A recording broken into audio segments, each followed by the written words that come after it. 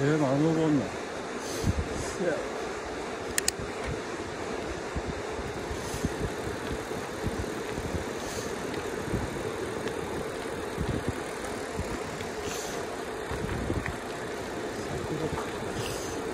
桜よく出たんな楽しい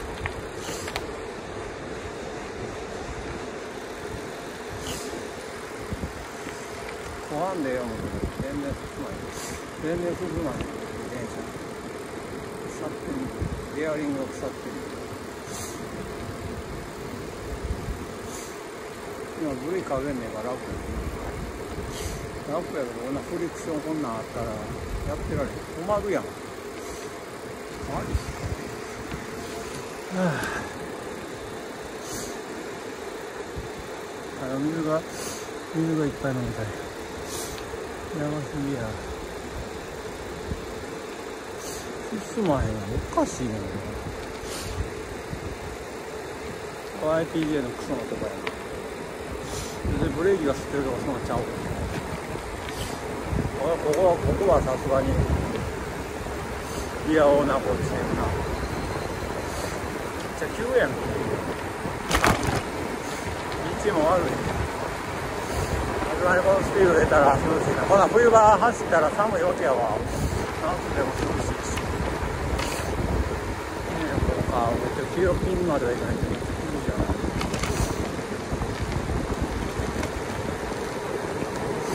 山岳遭難は多発しますいちいち呼ぶなよって感じやけど呼ばれたら行かなあかんからこれいやでもいい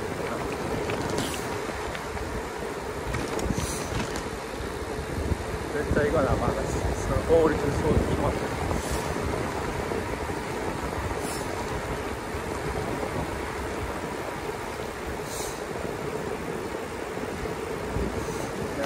ここは多分すぐ終わるやろうけどなんやあれ話せ話せだけはちゃんと超えへんかった話せ超えたバッテリーやんそう惰性ってい。うか勢い。つけたらまあ普通のクロスバイク使えてる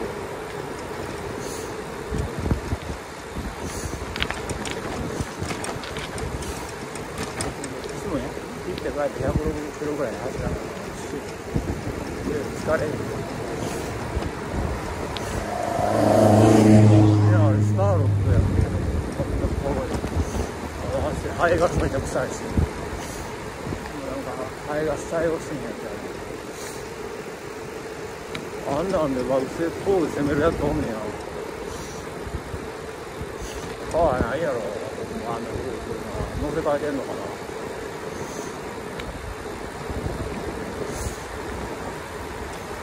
あれもなんか排ガス基準が昭和53年より前のやつだもん。よく俺が子供の頃でもあんなん見たことない。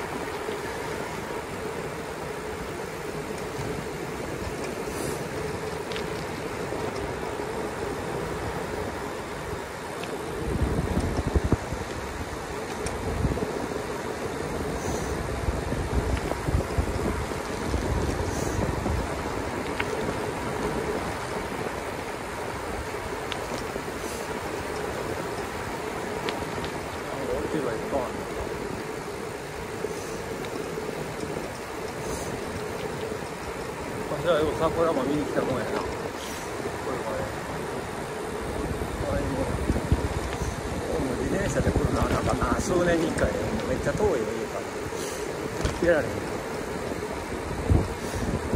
行く時はなんかこう一大決心して行からへんかなんかバッテリー絶対持たすか充電器。もう充電器とかももう充電器持ってくること自体がもうなんかうざいわ。どっか店かなんか寄ってやってもらわないけど俺もう基本的に店寄らへんから。今日はなんか和菓子屋さん寄ったけどそれだけや。ん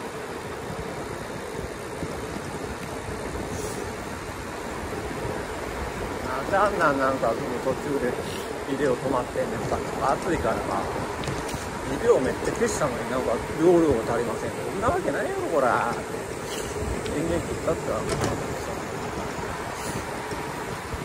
暑すぎてさなんかエラー起こした。寒くてもあかんけど暑くてもあかんわがままやな電子誰かモバイルバッテリーなんか石室に忘れとったけどバッテリーって触って爆発とかしたら嫌やからもうよう触らんかったら誰やろそんな俺モバイルバッテリーとかいらんから自転車からモバイルに供給されるからええええやろ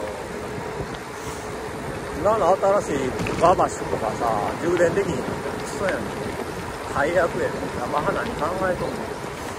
それだけでなんかもう買うことを選択肢から外れるけどねもうバッテリーもう一個買って延命した方がマシかな。なんか11速にしたとかなんやとかってよう聞くけど。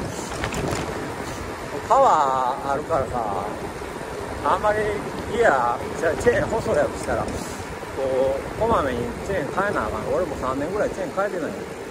変えんでも大丈夫や中こまめに油出しとったら。ええー、スキー場ってほんまなくなったもん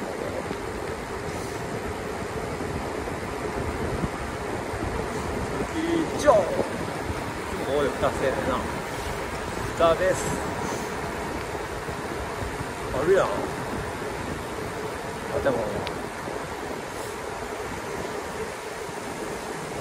なってやってるこんなとこにスキー場があったなんて信じられへんな。こう右手のとここうスキー場やった。こういう人もなんかこんなむき出しのプレハブや意味わおめっちゃ広いよ気持ちいいわ。こう